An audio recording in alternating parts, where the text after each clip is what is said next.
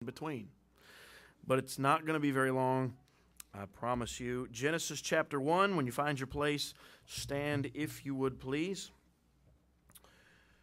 Keep praying. We'll, we'll pray again at the end. I just text Pastor to see how things are going, and he has not yet gotten up. It's a community meeting, and so there's a lot of other things that they're discussing, and so haven't had our turn yet. And so, anyway, we'll just keep praying. Um, uh, but uh, I'm sure he'll let us know if anything's happening. Genesis chapter 1, I guess I ought to turn there too. Genesis chapter 1.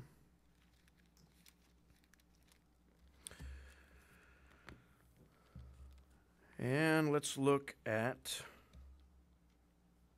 two verses. Verse number 22. The Bible says, and God blessed them. Actually, let's move up so we can get in context. Uh, verse number 20. And God said, Let the waters bring forth abundantly the moving creature that hath life, and fowl that may fly above the earth in the open firmament of heaven. And God created great whales and every living creature that moveth, which the waters brought forth abundantly after their kind, and every winged fowl after his kind. And God saw that it was good. And God blessed them, saying, Be fruitful and multiply, and fill the waters in the seas, and let fowl multiply in the earth. Now, drop down, if you would, to verse number 26.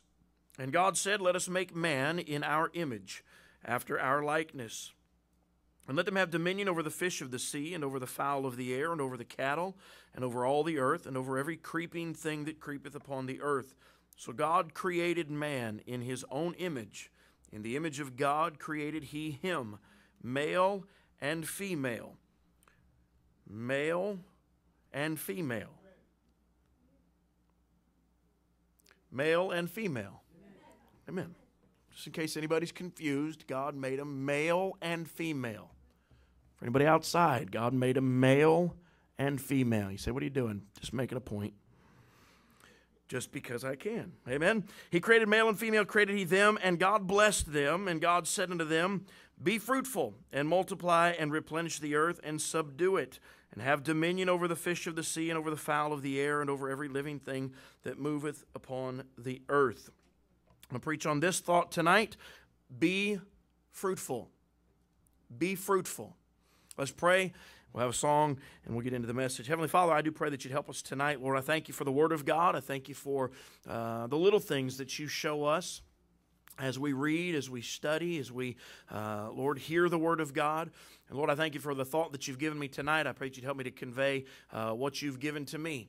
And Lord, I pray that it would, uh, I pray that it would be an encouragement to your people. I pray it might stir us up, challenge us a little bit, uh, Lord, and, and I pray that you would do with the message tonight what you want done. I pray that you'd help me to get out of the way. Please empty me of myself. And Lord, I pray that you'd fill me with your spirit. In Jesus' name I pray. Amen. You may be seated. Thank you for standing.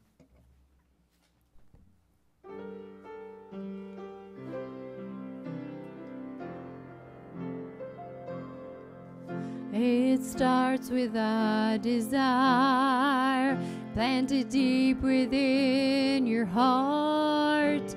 You pray in faith and wait for God to move. Time passes and you wonder, did he hear me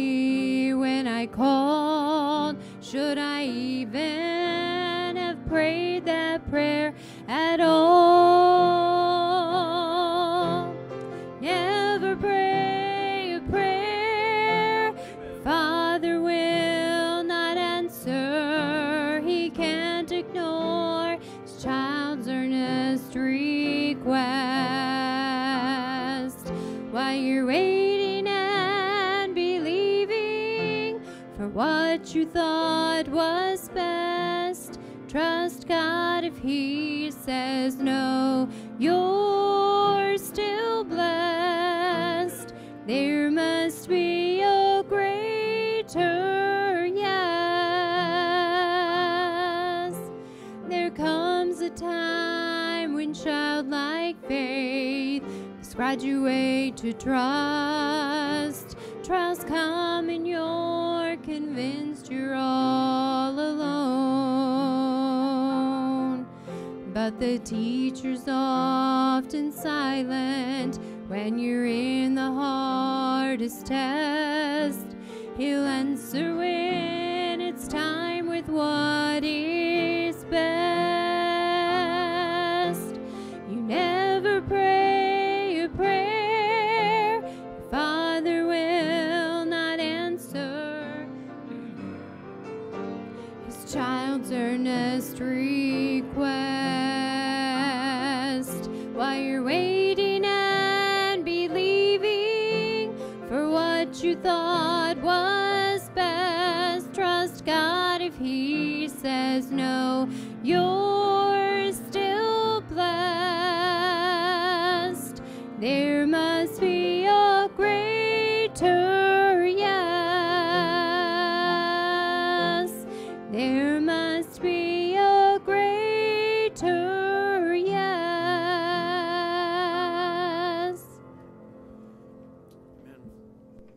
Good song. We don't like no. Sometimes we get no. We don't like wait, but sometimes we get wait. A lot of times I pray and I thank God, you know, I can convince myself that I'm praying in the will of God, that I'm praying, believing, and I expect this one to be a yes. And then God says no. And in those times, sometimes the devil starts to get us thinking, you know, God's not listening to you. But God was listening, and God did answer. Just wasn't the answer I wanted. And but God knows best, amen. And so even in those times when we question and think, I don't understand what's going on, God knows, amen. Be fruitful. I uh, take your Bible, hold your finger there in Genesis, um, and go back to Romans chapter twelve. Romans chapter twelve. And I'll give you just a thought of where this came from. This was just in my own study. I was I was planning to do a devotion. I'm still planning on doing this devotion with my girls, so this is good that they're not here tonight. Um, as parents, sometimes we I have caught myself, especially here recently with teenagers, I'm I'm on this idea a lot of don't do this. Don't do this, don't be this, don't say this, don't listen to this, don't watch this, don't, don't, don't, don't, don't. And that's right. We need to tell our kids and teach our kids and, and even people that are following us, hey, there are there's plenty out there that I don't need to do, that we don't need to participate in. But the Bible, a preacher said this years ago. He said, uh, We are conformed, as humans, we are conformed to the image of our focus. And what that means is we become what we think about. The Bible says in Romans chapter 12, look at the verse, verse number 21 Be not overcome of evil, but overcome evil with good. This was the verse that that preacher used when he made that statement, and he taught this lesson to us in a Sunday school class. And he said, You know, there, there have been hundreds, if not thousands, of people, uh, young people that grow up and maybe they had a drunkard for a father and they said, I'm, I'm not going to be like my dad. I'm not going to be a drunk. And they focus on so much not becoming like that person that they become that person. You say that's weird. It is weird. But we could probably all point to somebody that we know in our life, family or friend, that that's happened. They've been so focused on not doing something or not being something, and then years down the road, here they are doing or they've become what they didn't want to be. And the principle is this I believe from the Bible you don't overcome evil by dwelling on the evil. I, I don't want to sin. I, I don't want to cheat on my wife. I don't want to be this kind of person. I don't want to do this kind of thing. But if all I ever think about is I don't want to do this, I don't want to, what am I thinking about the most? That sin. While I'm thinking about I want to avoid it, I don't want to do it.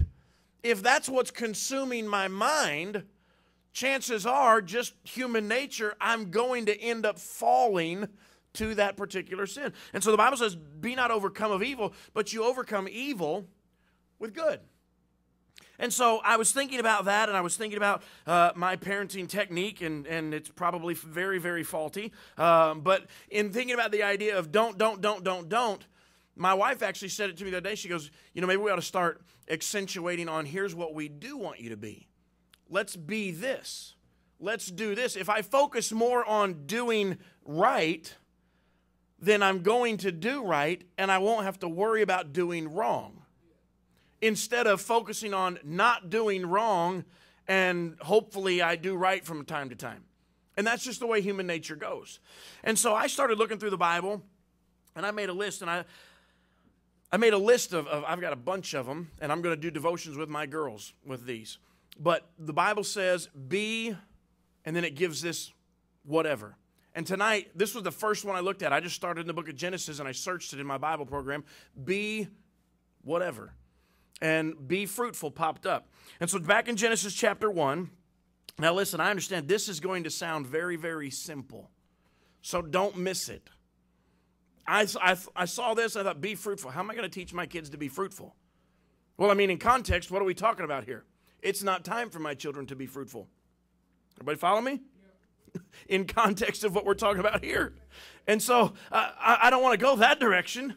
Uh, the Bible says uh, in verse 22, he's talking about the fowl of the air, the fish of the sea, uh, the creatures that he made. And he told them the first command he gave to his creation was be fruitful. And then in verse number 26, God made man after his own image. And the first command, before God said, don't eat of the fruit, God said, be fruitful. Perfect example of what we are just talking about. God didn't start with a list of don'ts, He started with a list of do's. Focus on doing this and doing right and being fruitful and multiplying. And by the way, just stay away from that tree. You've got all the others that you can have. And you've got I've created you to be fruitful is what he's saying. So focus on that and not on this. Well, what was Eve's problem? What happened? Ultimately, she got her eyes off of what she should have been doing and on what she wasn't supposed to be doing. And she thought she was getting robbed of something. That is where, uh, especially with our young people, that's where they're at. They think they're missing something in life. Everybody tells me I can't do this. Don't listen to this. Don't watch this. Don't hang out with that person. Don't go here. Don't dress like this. Don't do that. Don't do this. Don't do and and they think they're missing something. And maybe, this is just me thinking, but maybe we ought to start focusing on look what you get to do when you live for God. Instead of look what you don't get out in the world. Yeah, you don't get cirrhosis of the liver from, from alcohol. You don't get cancer from smoking. You don't overdose from drug addiction. You don't do all of this. You, you miss out on a whole bunch. You sure do miss out on a whole bunch by skipping the world. And look at all the blessings and the benefits that you get by doing things God's way. Maybe we ought to focus on that. That's not the idea of the message tonight. Be fruitful. Now, I started studying this. I thought, well, this is the first one in the Bible. I'm just going to go through it. And so I was looking it up. I looked up the word fruitful. Again, this is going to be simple, but I don't want you to miss it. We're going somewhere tonight, and we're not going to be very long. Be fruitful. The word fruitful means this. You ready? To bear fruit. Amazing, isn't it? Yeah, mind bomb. To bear fruit. It means to bring forth. It means to cause to be. I am causing this to happen. I am causing this to be fruitful, to cause to be fruitful, to cause to grow, to cause to increase. All right? Now we can all look at that and say, I understand what being fruitful means. I'm supposed to be fruitful. In context, we understand what God was saying there to the children, or not to the children of Israel, to, to his creation and to Adam and Eve. Be fruitful, multiply, replenish the earth. God said, I made a couple of you. I want you to replenish. Okay? But to us today, what's the, what's the application for us? God expects us to be fruitful. We're going to look at several verses here in just a minute. God created us to bring forth fruit. God created us to bear fruit. God created us to grow. That can be physically, but I'm talking more tonight spiritually. As a child of God, God did not save me to be fruitless. God did not save me to be barren. God saved me to grow or to increase. All right? Uh, I looked this up, the word fruitful, in the Webster's dictionary, and here's what it says there it means to be very productive. Some of you work jobs where you're expected to produce something and you're expected to be very productive, right? When I worked at Home Depot, we weren't expected to be very productive. That's just the way. If we could get people to show up to work, that was a win. There what, right, Andrew? There wasn't a, I mean, they weren't, uh, if you proved yourself as a good worker, they might be on you about, hey, you need to do a little bit better. But to this other guy over here, hey, I just need you to put on the orange shirt and show up.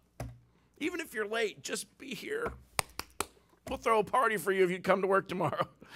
I mean, it was hard to get fired at Home Depot. If you showed up, man, you could you could sleep through the shift and keep your job just about. Now, there's some jobs that they're not looking for that. Others are looking for that. Listen, God is not Christianity is not Home Depot. God expects us to be productive, not just a little bit, but very productive. It means to produce, in Webster's dictionary, the word fruitful means to produce fruit in abundance. In abundance. Not just an apple tree with one apple on it, but in abundance. I mean, you want an apple tree that's loaded with apples. So many apples, they're falling on the ground before you can get to them and pick them. There's an apple tree out back at, uh, at the new church. And when I mow the yard in the spring and the summertime, it th- that thing is loaded with apples. And I'm pretty sure I'm mowing more apples than I am grass when I mow the yard over there. I'm making applesauce with that lawnmower. I mean, there's apples every. That's what we're talking about. That thing produces much fruit. Now, I want us to think spiritually tonight. Am I being fruitful in the definition of that word? Am I producing much fruit? Let's look at some verses. God created us to bring forth fruit. That is God's design for our life. Let's skip and go all the way to the book of Psalms. See, I told you I was going to preach the whole Bible. I just skipped about 37 books for you. Psalms chapter 1. Psalms chapter 1, verse number 3. Just look at some things the Bible says about being fruitful. Psalm chapter 1, verse number 1 Blessed is the man that walketh not in the counsel of the ungodly, nor standeth in the way of sinners, nor sitteth in the seat of the scornful. But his delight is in the law of the Lord, and in his law doth he meditate day and night. Then, verse number three, God says, if we do those things in verses one and two, he shall be like a tree planted by the rivers of water that bringeth forth his fruit in his season. His leaf also shall not wither, and whatsoever he doeth shall prosper. All right, we could say that verse, uh, talking about the tree, that tree is successful. Being planted by the rivers of water. My grandfather has a farm uh, back in Illinois, and there's a river that runs right through his property. And in the dry times, in the summer times, uh, when there's not a lot of rain, the trees and the bushes, the grass away from the river dies much, much quicker. The trees down on the riverbank never die. They always have leaves. They're always healthy. Why? Because they're at the source of their nutrients. The soil there is good because there's water there. And those trees down there, they're healthy, they're strong, they're vibrant. They, you know, they're, they're not these little twigs of trees that get blown around when the winds come through or, or whatever. Man, they are, they are stout. That's the kind of Christian God wants us to be a strong, solid, stout, planted, well watered, well nourished Christian. And those kinds of Christians produce much fruit. Again, I ask us tonight Am I bearing that kind of fruit? Am I fruitful? Ask yourself that. Am I fruitful? And so God gives us a likeness here. A healthy tree brings forth fruit. He should be like a tree planted by the rivers of water. If the tree, if I'm the tree and I'm where I should be, not in the seat of the scornful, but delighting in the law of the Lord, I'm going to be that healthy tree and I'm going to naturally bear fruit. Everybody with me? Okay. Psalm chapter 92. Psalm chapter 92. And again, I was just looking for, uh, I wasn't planning on preaching this. The preacher told me, I think, two days ago that I might have the chance to preach tonight. And so I've been looking at this since Monday. And uh, this is what I felt like the God wanted us to do. But uh, Psalm chapter 92, verse number 14, I was just looking up some ideas, some, some verses about bringing forth fruit. Look at verse number 14. They shall still bring forth fruit in old age.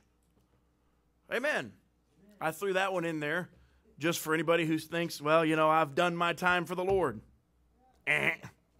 Hey, it doesn't matter how old you are, doesn't matter how long you've been saved. God says, I want you to bear fruit. If you're still breathing, you're supposed to be bearing fruit.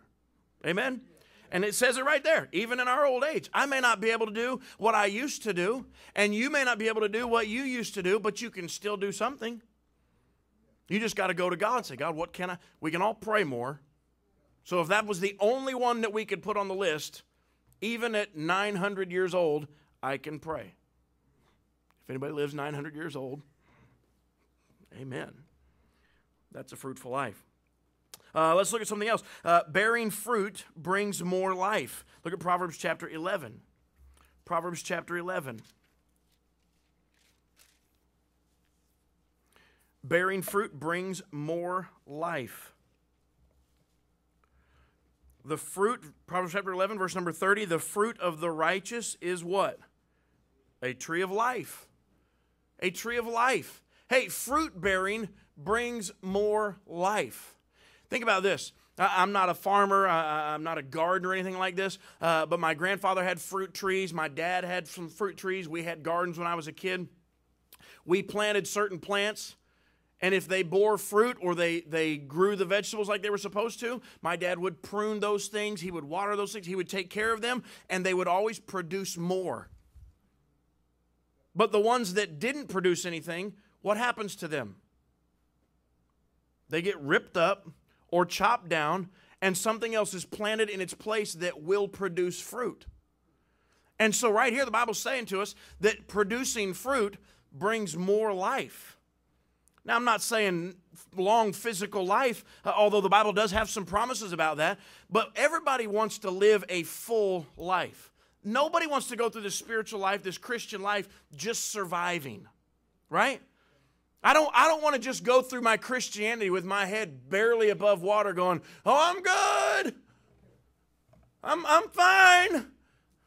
No, man, I, I want to enjoy my life. I want to enjoy the life that God's given. God promises to give us exceeding abundantly above all that we ask or think. God nowhere in the Bible alludes to the fact that the Christian life will be just keeping my nose out of the water. But how many Christians are doing that? That's the life they're living. Maybe you're here tonight and you're living that life going, is this what Christianity is all about? I promise you it's not. But fruit bearing produces more life, it produces more fruit. And if I'm not bearing fruit, then I don't have a very productive life. I don't have a very full life. I don't have a very successful life. I don't have a very happy life. And so we'll see that in a minute. We'll see about producing the fruit. Just showing you a couple of thoughts about it. Fruit bearing is natural. Look at Proverbs chapter 12, verse number 12. The wicked desireth the net of evil men, but the root of the righteous yieldeth fruit.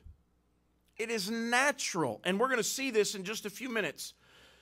Something that has deep roots is naturally going to bear fruit it's naturally going to flower. It's naturally going to leave in the spring and it drops its leaves in the its leaves in the fall. It's just going to naturally do that. A tree or a bush that doesn't have very strong, very deep roots is not going to do that. And so we've got to make sure that the analogy is, the application for us is this we got to be deep into our relationship with God. shallow Christianity will get you nowhere. Shallow Christianity is keeping your nose just barely above water. Uh, we were at the um, the summit um, over at Solid Rock. I don't remember if it was last year or the year before. And Brother Doug Fisher, uh, he lives out in California, and I think he said he planted some avocado trees. And they, the, anyway, he was talking about that, and he talked about the roots of the avocado tree and how deep they go. And then he preached on this idea of we need a deeper life or a thicker Christian life, thicker root system. So, what does that mean? Uh, years ago, there was uh, preachers, old time, they talked about the deeper life, and they, they were called the deeper lifers. And a lot of people didn't like that You spend so much time in the Bible. You spend so much time reading the Word and trying to get in the Word and trying to understand the Word that you're of no, no value out here. You're not helping anybody. All you do is read and pray, but you don't go out in the streets and help anybody. God wants balance. So those people, they were like, we're against the deeper lifers. But God says, hey, I, I want you to be, John chapter 15, he, we're part of the vine. He's the vine, we're the branches. And we've got to have deep roots if we're going to bear fruit.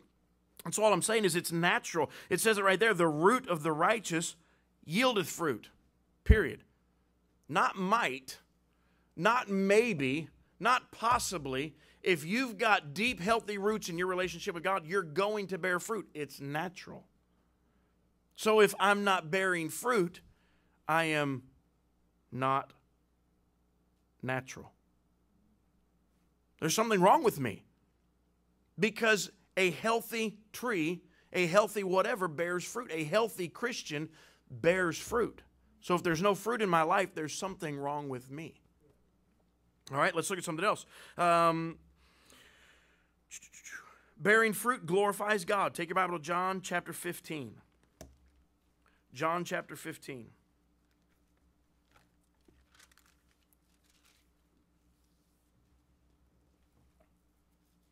I hope I'm not boring anybody tonight. This is a little bit more teachy. John chapter 15, verse number 8. Herein is my Father glorified that ye what? Bear much fruit. So shall ye be my disciples. Revelation chapter 4, verse number 11, I believe, says that we're created for his glory. So it glorifies God then that I bear much fruit. Again, I ask the question Are you, am I bearing fruit? Am I, like this verse says, bearing much fruit, abundant? That, that over uh, more than plenty, more than is, is necessary. I'm bearing much fruit. Am I bearing fruit at all? Or am I bearing much? Bearing fruit glorifies God. Bearing fruit gets our prayers answered. Look at verse number 16. You've not chosen me, but I have chosen you and ordained you that you should go for or go and bring forth fruit, and that your fruit should remain, that whatsoever ye shall ask of the Father in my name, he may give it you. And so, prayer, uh, our prayers are answered if we're bearing fruit. Look at that verse again. He's chosen us, he's ordained us that we should what? Bring forth fruit. And the end of the verse says, that whatsoever ye shall ask of the Father in my name, he may give it you. You want God to answer your prayers? You better be a fruit bearing Christian. Simple. So I ask it again. I'm going to hammer this home tonight. Are we bearing fruit? The Bible says, be fruitful. What kind of fruit should we bearing? Should we be bearing? Well, what do apple, apple trees produce? Apples. What do grapevines produce? Grapes. What do orange trees produce? Orange, right. So, what should a Christian be producing? Christians. That's one fruit. We should be producing Christians. Am I producing other? Listen, I can't save anybody. We understand that tonight. I'm not the one that saves, I'm not the one that forgives sins, but I am the messenger. And God uses individuals to talk to other individuals and give them a message from Him. And if that individual gets saved and gets into a relationship with God, then I was the human instrumentation, or you were the human instrumentation that God used to bring that person. That's bearing fruit. But sometimes we get discouraged because we'll knock on doors and people aren't interested, right, Brother Eustace? People don't want to hear it. Uh, I had a guy tonight walking down the street. Uh, actually, I think Miss Candy tried to hand him a track. And he's like, I'm Muslim with a dirty look on his face. That's, that's too bad for him. You know, he's going to have to, something's going to have to happen to enlighten him and open his eyes. But it's not my job to do that. I can try to hand out a gospel tract. I can try to persuade him, like Paul said, we persuade men, but ultimately it's his choice. But we get, we run into people like that and we think this doesn't even work. Why should I keep doing this? Let me just say this and we'll move on. Being faithful to witness for the Lord is part of being fruitful. God never said if you give the message, they will get saved. God said in Matthew chapter 4, verse number 4, Follow me, and I will make you fishers of men. So if I'm not fishing, it's because I'm not following. there's your soul winning message for the night. But what other kind of fruit is there that we could be bearing? I, want to, I just want to show you a couple of things. Galatians chapter 5, people often go to this the fruit of the Spirit love, joy, peace. Galatians, I can't find it. Galatians chapter 5. Look at verse number 22. But the fruit of the Spirit is love, joy, peace, long suffering, gentleness, goodness, faith, meekness, temperance. Against such there is no law. Now, those are good things, and those ought to be evident in our life, but that's not my fruit.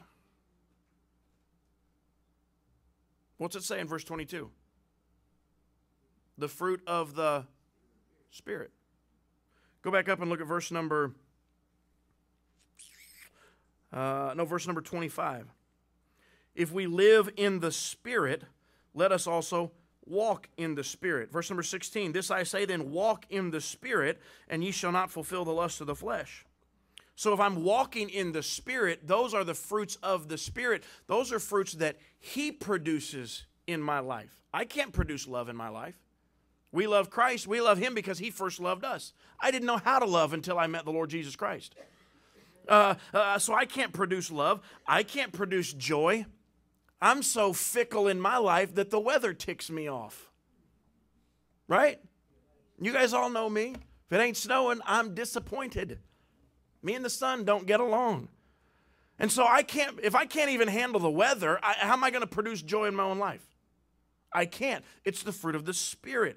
Peace. I can't bring peace in my life. That's the fruit of the Spirit. And so these things ought to be in our life, but these things only happen when I'm walking in the Spirit. Now let me show you something. We're done. 2 Peter chapter 2. 2 Peter chapter 1.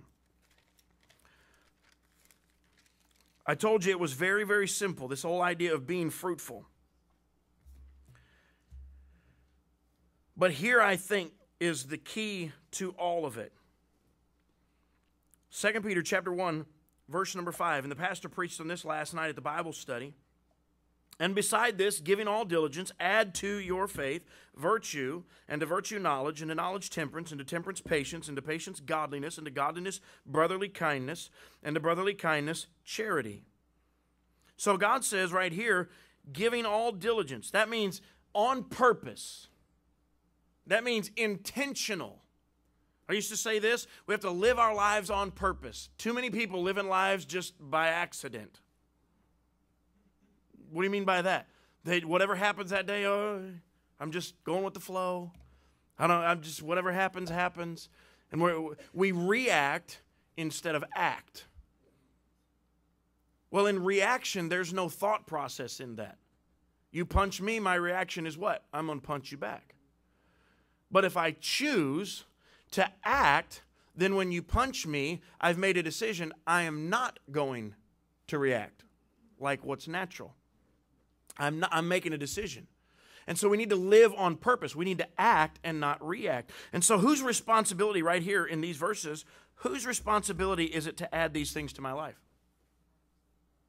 Yeah. Look at what he says add to your faith these things. Now, understand if we go back up and look, and Pastor did this, uh, he explained this well last night. Obviously, it's not me. Philippians chapter 3 or chapter 2, verse 13 says this uh, For it's God which worketh in you both to will and to do. We could go back to Galatians, uh, walk in the Spirit. What does that mean? If I let the Spirit control me, then this will be, I can't do this on my own. All right? But these are my responsibility as a Christian. So I need to walk in the Spirit, and then I can add these things to my life. But if I'm reacting, if I'm living a reactionary life, something makes me mad and I just fly off the handle, I'm not walking in the Spirit. And I won't be adding, I guarantee you, any of these things to my life. So it takes the power of God and the Spirit of God to do this. But this is my responsibility.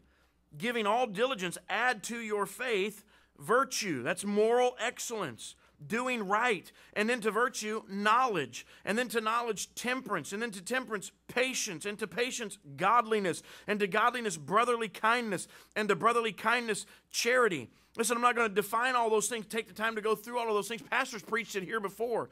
Uh, but go home and look those words up, find out what they are. But here's the, here's the whole idea. If you want to you want to be a good soul winner, you better add these things to your life. There's no greater brotherly kindness or charity than to, than to teach somebody what the Bible says about their eternal salvation and they get saved. That's charity. That's love. That's brotherly kindness. That's patience to deal with some knucklehead who doesn't want to believe it, and you go back to work with them and say, Listen, man, God did this for me, and God did this for me. And listen to the verse, man, I don't want to hear about your God. Well, I can't help it. God's my whole life. And you just keep going, and you have patience to deal with their obstinance and patience to deal with their ignorance. Yeah. You want to bear some fruit in soul winning? You better be adding some things to your life. You want to bear some fruit in other areas? You better be adding some things to your life. And here's why. Look at verse number eight. For if these things be in you and abound, that means they're, they're, they're in you a whole bunch. I mean, the preacher said it last night. It's just hanging off of you. Godliness and brotherly kindness and charity and, love and, and, and temperance and virtue and all of these things. It's just, it's evident in your life. That's what it means to abound. I mean, it's just obvious.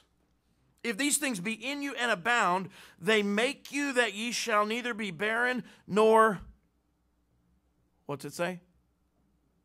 Unfruitful.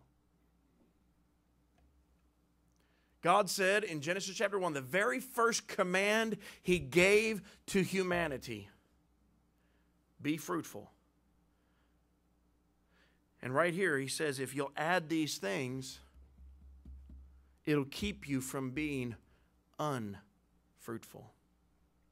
So I ask you again tonight. I ask me, am I being fruitful? What's the opposite of being fruitful? Anybody? Unfruitful. There you go. I didn't think it was that hard of a question. I could start with an easier one. How about what's your name? right? The opposite of being fruitful is being unfruitful. Well, what is, what is the remedy for unfruitfulness right here? Me, through the power of God, through the Spirit of God, adding these things to my life. Now, here's what God gave me. And beside this, giving all diligence. We have all sat in church and heard a tremendous message from a good preacher or a not so good preacher or whatever. And we've thought, and that was good. I need to make a decision about that. And we come down here and we pray and we make decisions and we go home and we do nothing different. That's not giving all diligence. That's me. I'm describing me. And I could, I could name you dozens of messages that I've heard in my life that, that I have said that was a life changer. And it didn't change my life. Why? Because I didn't give all diligence to add that thing to my life.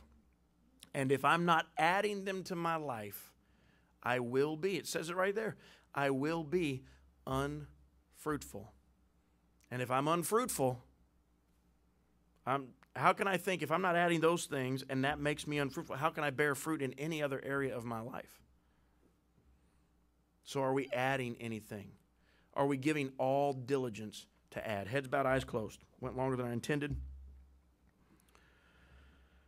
When was the last time you added something to your life? When was the last time you gave all diligence to add something to your life? There's seven things listed there. Maybe we ought to maybe we ought to make a list.